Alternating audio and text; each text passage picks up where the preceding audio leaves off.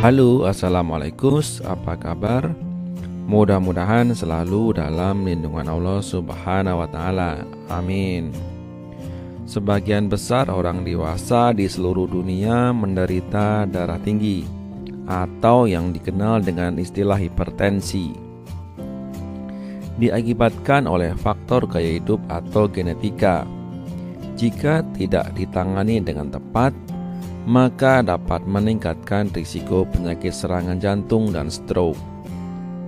Untuk itu, pada video kita kali ini akan berbagi resep herbal menurunkan tekanan darah dalam waktu yang cepat dan dengan cara yang mudah.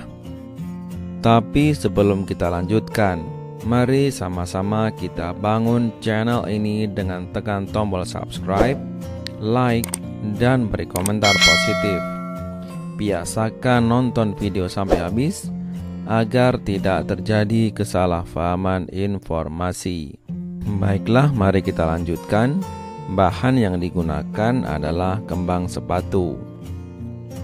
Sifat antiinflamasi, sifat diuretik, vitamin C, mineral, dan antioksidan pada bunga sepatu dapat menurunkan tekanan darah dengan baik. Berikutnya siapkan 2-4 tangkai kembang sepatu Cuci bersih. Masukkan bunga kembang sepatu dan beberapa kayu manis dalam wadah yang tahan panas.